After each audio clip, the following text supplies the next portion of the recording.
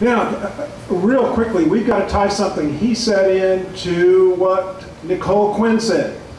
Nicole Quinn talked about inflation.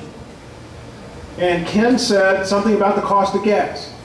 The cost of gasoline in 1964, look it up online, Google it. The cost of gas in 1964 was 25 cents.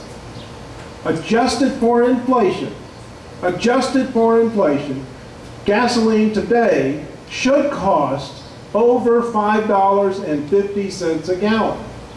We are paying less for gas at $3.50 or $3.80 than we were paying in 1964. But we don't appreciate it because the inflation is snuck in 2% a year, 3% a year. It's snuck in, but it's cumulative.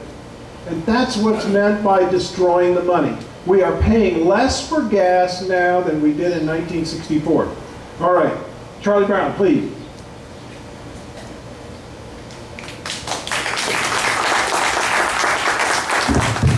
Thank you.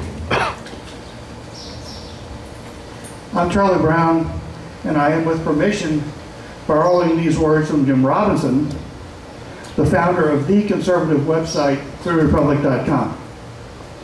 We are so close.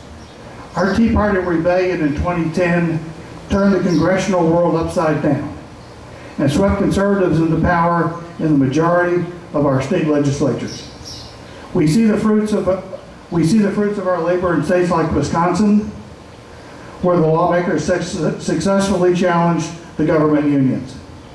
We all witnessed the ugly protests of the angry socialist workers while they tried to block the changes.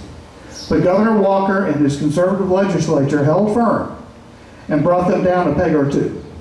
We the people won the day. We the people won for freedom. It can be done.